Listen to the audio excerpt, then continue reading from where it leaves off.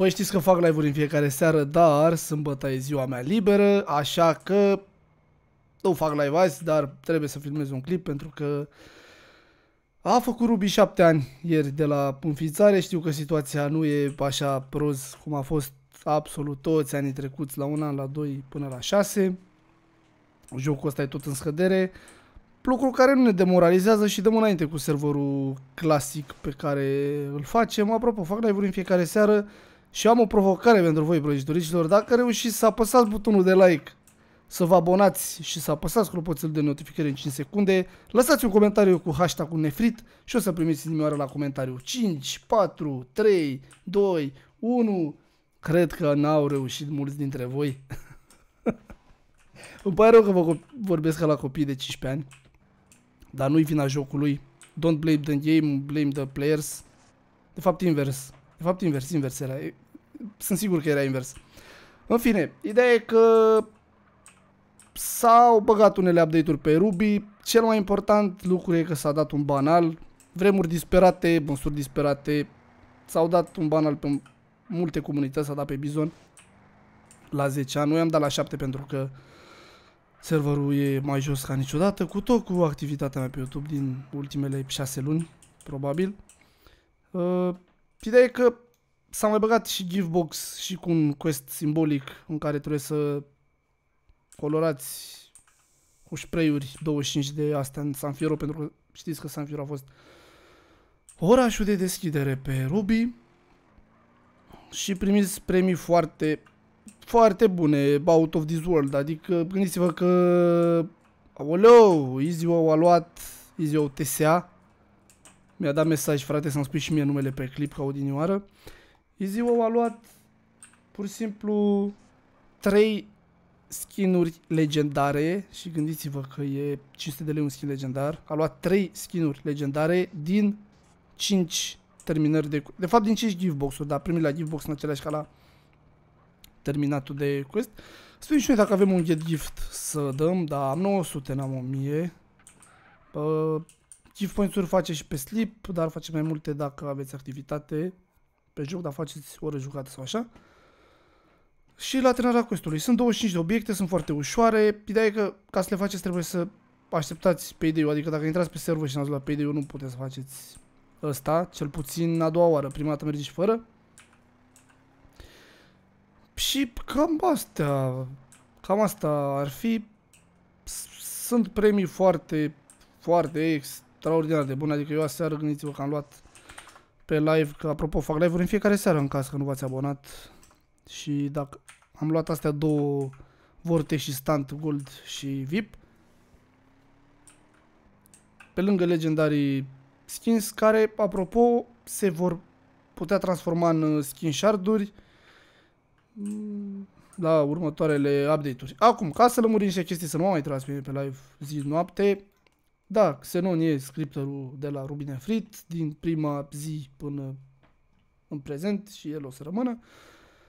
Pentru că e singurul care are acces la game mode și el e scriptorul. Eu nu schimb scriptorii la server și nici nu aș face chestia asta.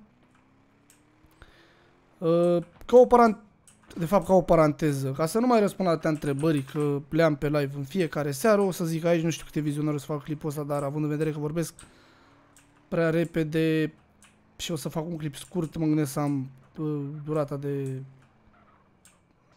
media de retenție un pic mai mare pentru vizualizări. Uh, vreau să zic asta să rămână aici, dar urmează un server de SAM clasic, classic.nefree.ro Fac live-uri în fiecare seară, lucrăm acolo, uitați-vă la ultimele două clipuri, în special la penultimul clip, ăla cu trebuia să o spună cineva că vorbesc acolo mai multe chestii. Încă n-am făcut un clip pe tema asta, serverul e gata și o zic aici pentru că am primit de un milion de, întreb de, un milion de ori întrebarea asta. Când va fi gata, aproximativ o lună și jumătate. Uh, da, nu e aceeași echipă, sunt alți scripteri, owner sunt doar eu, nu vă interesează alte lucruri. Uh, nu vreau să fac clipul ăsta ca să promovez serverul ăla, dar știți majoritatea dintre voi, dintre voi chestia asta și vre, uh, voiam să zic chestiile astea ca să lămuresc o întrebare și anume ce se va întâmpla cu Ruby? Am primit întrebarea asta de 400 de ori. Bă, ce se întâmplă cu Ruby? Poți să primească update-uri când e timp, când e cazul, serverul e cum e din cauza jucătorilor care s-au lăsat de server, pur și simplu dacă îți place un server și îți place sistemele de pe el și vrei să joci pe el, nu te mai interesează că nu știu, că nu se fac update-uri, că nu se bagă lucruri noi. Păi acum nu știu ce să zic, trendul l-am văzut că e spre clasic, nu vă mai plac am înțeles, tichete de kilometri și așa mai departe, dar lucrurile astea au fost cerute de către voi și noi le-am băgat la cererea voastră, că nu le băgam noi de nebuni. Am văzut că prinde și asta am făcut.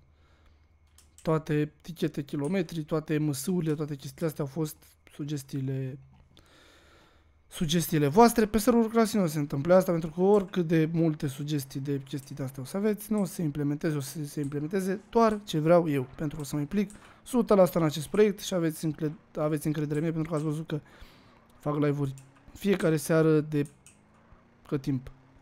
Cred că de vreo 6 luni, dacă nu mă înșel.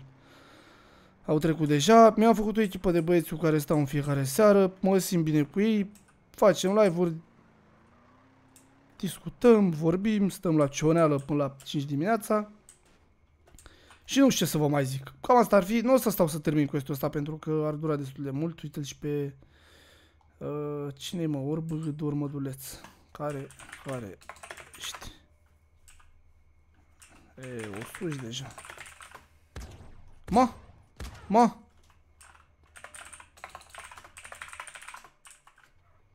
Ripă regele vostru. Nu știu, de, nu știu de ce cred că stau să fie primul, primul player banat.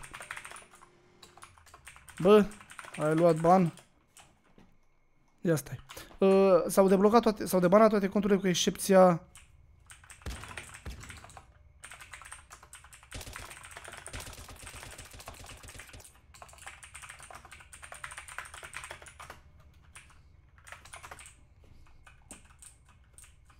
Stați așa un pic.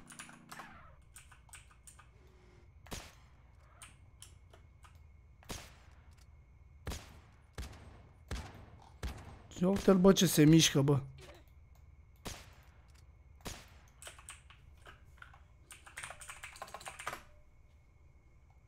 Hai, te pup, ripă, regele vostru. Bă, vă mulțumesc, băieți, și ne vedem în următorul video. Salut!